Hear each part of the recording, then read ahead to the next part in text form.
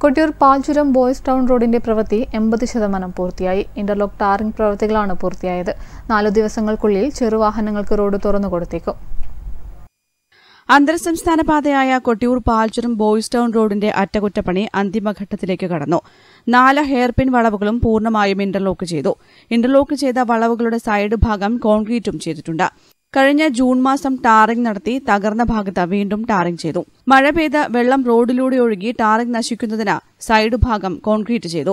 ബോയ്സ്റ്റോൺ മുതൽ പാൽച്ചുരം ആശ്രമം ജംഗ്ഷൻ വരെ പൊട്ടിപ്പൊളിഞ്ഞ ഭാഗങ്ങളിൽ ടാറിംഗ് പൂർത്തിയാക്കി. ഈ മാസം ആറാം തീയതി മുതൽ പാൽച്ചുരത്ത് വാഹനങ്ങൾ കടന്നുപോകുന്നത് പൂർണമായും നിരോധിച്ചിരുന്നു.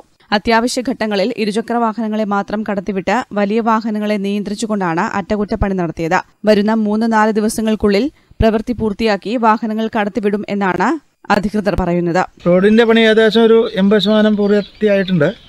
ഇപ്പോൾ ഏകദേശം ഒരു രണ്ട് മൂന്നാഴ്ചയോളമായി റോഡ് ബ്ലോക്ക് ആയിട്ട്. ഗതാഗത ബുദ്ധിമുട്ട് എല്ലാ മേഖലയിലുള്ള ആൾക്കാർക്ക് ഉണ്ട്.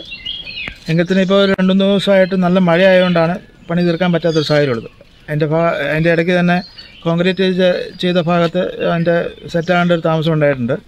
എങ്കിൽ തന്നെ ഒരു മൂന്ന് നാല് ദിവസത്തിനുള്ളിൽ തീർക്കാൻ പറ്റുമെന്നാണ് വഴി തുറന്നു കൊടുത്ത് ചെറുവാഹനങ്ങളൊക്കെ കടത്തിവിടാൻ പറ്റുമെന്നാണ് ബന്ധപ്പെട്ട ഉദ്യോഗസ്ഥന്മാരായിട്ട് സംസാരിച്ചപ്പോൾ മനസ്സിലാക്കാൻ കഴിഞ്ഞത് ഒരു ഞായറാഴ്ച തിങ്കളാഴ്ചയോടുകൂടി വണ്ടികളൊക്കെ ചെറുവണ്ടികളൊക്കെ കടന്നു പോകാൻ സാധ്യതയുണ്ട്. ചെറുവാഹനങ്ങൾക്ക് ഞായർ തിങ്കൾ ദിവസങ്ങൾ കൊണ്ട് കടന്നു പോകാൻ സാധിച്ചേക്കും.